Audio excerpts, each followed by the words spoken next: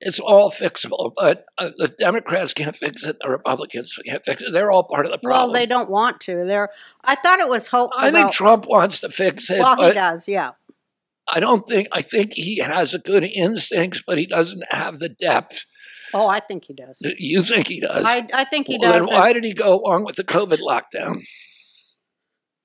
Uh, well, I think. Because he said, "I'll never do it," Mhm. and then he did it. And uh, you know, he, he gets overwhelmed by his bureaucrats. yeah, and then you know he happens.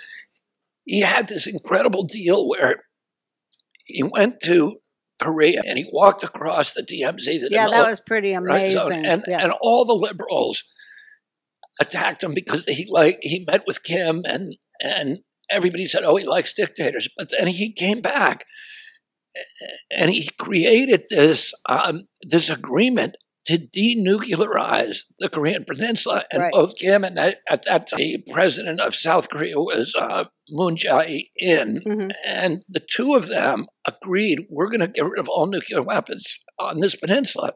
How good would that be for the world? Then they went to President Xi in China, and he signed on to it. Right. And then uh, John Bolton, Yeah. Mike Pompeo Mhm.